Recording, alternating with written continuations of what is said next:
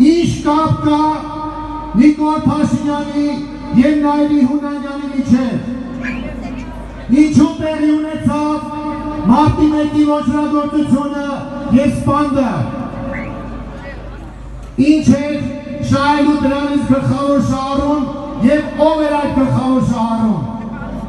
Եվ վերջում ինչ է սպասվում եւ ինչ է պետք անել։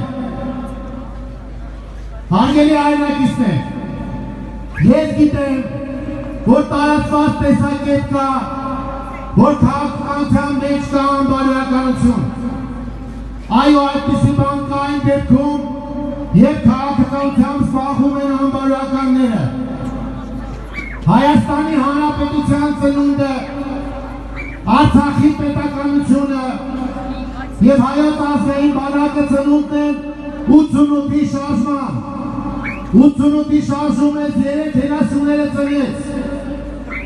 Անբարոյականությունը սկսվեց այն պահից, երբ Ղարաբաղյան շարժման միջոցով իշխանության հասած ոմանք հայտարարեցին, որ Ղարաբաղը բեռ է, որ առանց Ղարաբաղը հանձնելու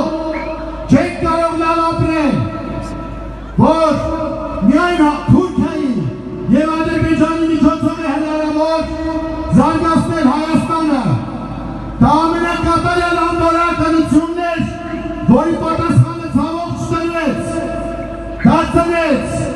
հոկտեմբերի 27 95-96 թվականի կերտիկներ 98 թվականից մենք ազատվեցին դրանից բայց 2008 թվականին դա վերադարձավ 2018-ին հասավ հաջողության 2020-ին հանձնեց Արցախի պետականությունը եւ